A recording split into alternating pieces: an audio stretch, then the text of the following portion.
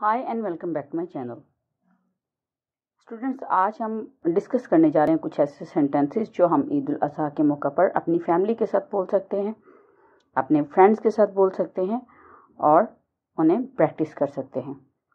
हमारे साथ लगातार इंग्लिश सीखने के लिए हमारे चैनल को सब्सक्राइब करें वीडियो को लाइक करें और बेल आइकन को ज़रूर प्रेस करें ताकि आने वाली तमाम वीडियोस आप तक पहुँच सकें। Now let's start our lesson सबसे पहला सेंटेंस इस ईद के हवाले से। हमें ये होता है कि हम जानवर ख़रीदें बकरा के मौका पर जानवर सब कुर्बान करते हैं तो सबसे पहले हमें ये होता है कि हम अपने कुर्बानी के लिए जानवर ख़रीदें, ठीक है? तो उसके लिए हम जाते हैं कैटल मार्केट ठीक है?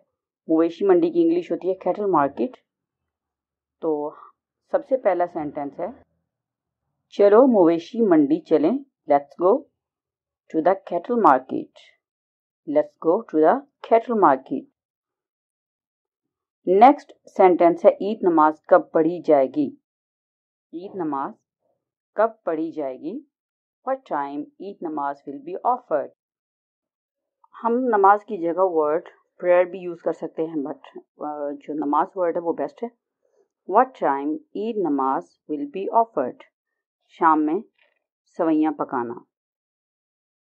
इसकी इंग्लिश होगी cook vermicelli in the evening cook vermicelli in the evening Eid की तैयारी कैसी है? How is your Eid preparation हम सब आपस में डिस्कस करते हैं कि ईद की तैयारी हमारी कैसी है।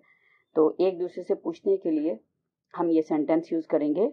How is your Eid preparation Eid कैसी रही? How was your Eid? Eid कैसी रही? How was your Eid? क्या आपने कुर्बानी के जानवर खरीद लिए? Have you purchase the sacrificial animal कुर्बानी के जानवर सेक्रीफिशियल एनिमल्स ठीक है? नहीं, कीमत बहुत ज़्यादा है। No the prices are very high no the prices are very high मैं ईद से सिर्फ़ एक दिन पहले जानवर लूँगा। I purchase the animals just one day before the Eid I purchase the animals just one day before the Eid आप कितने जानवर खरीदेंगे? How many animals will you purchase how many animals will you purchase वो ऊँट कुर्बान करेंगे। They will sacrifice a camel they will sacrifice a camel sacrifice कुर्बान करना। दूसरी मवेशी मंडी चेक कर लें।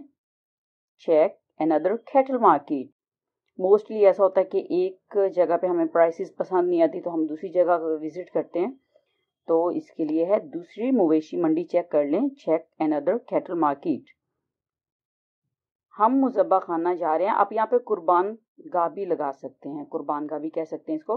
We are going to slaughter house we are going to slaughter house कसाई की फ़ीस बहुत ही मुनासिब है। Butchers fee is reasonable butchers fee is reasonable next हमारे पास फ्लीवर यानी चापर जिसके ज़रिए हम गोश्त के टुकड़े करते हैं, ठीक है? टोका भी कहते हैं इसको।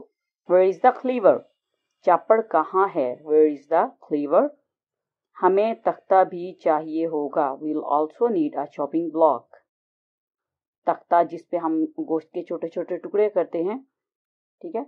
उसको हम चॉपिंग ब्लॉक कहते हैं। We will also need a chopping block गोश्त मुस्तकिन में तकसीम करें। मुस्तकिन यानी कुछ ऐसे लोग होते हैं जो खुद कुर्बानी नहीं कर सकते तो काइंडली सबसे पहले उनका ख्याल किया करें। Distribute the meat in deserving चाकू छुरियाँ तेज करवा लो। Get the butchers to sharpened ठीक है?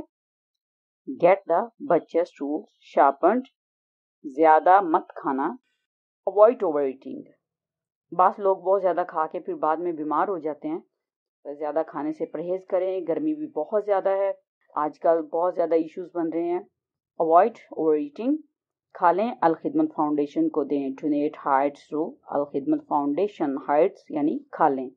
ओजड़ी अच्छी तरह साफ़ करो। Clean the tripe properly tripe जो है वो हम ओजरी को कहेंगे। ओजरी की इंग्लिश ट्राइप है। गाय का गोश्त कितना निकला?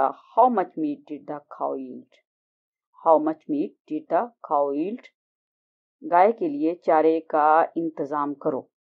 Arrange some fodder for cow arrange some fodder for cow okay next sentence जो है वो हमारे पास है, गोश्त को ठीक तरह से काटें।